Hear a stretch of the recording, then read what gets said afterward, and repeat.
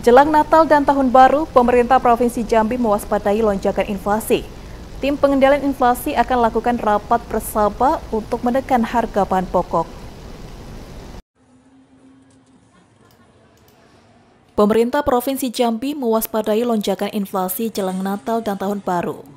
Pasalnya sejumlah harga bahan pokok di Provinsi Jambi mulai meningkat signifikan. Tim pengendalian inflasi Provinsi Jambi akan melakukan rapat bersama dengan instansi terkait untuk menekan harga bahan pokok, sehingga inflasi di Provinsi Jambi bisa tetap stabil. Sekretaris Daerah Provinsi Jambi Sudirman mengatakan, rapat bersama tersebut akan dilakukan untuk menyamakan persepsi dan langkah strategis di kabupaten kota dalam menekan inflasi.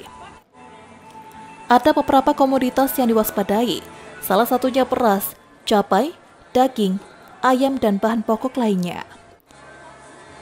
Rapat tim lengkap dari tim pengendalian inflasi daerah, termasuk juga eh, dari kabupaten kota ya, kita akan hadirkan untuk melakukan langkah-langkah strategis dalam upaya pengendalian terhadap eh, kenaikan harga ya.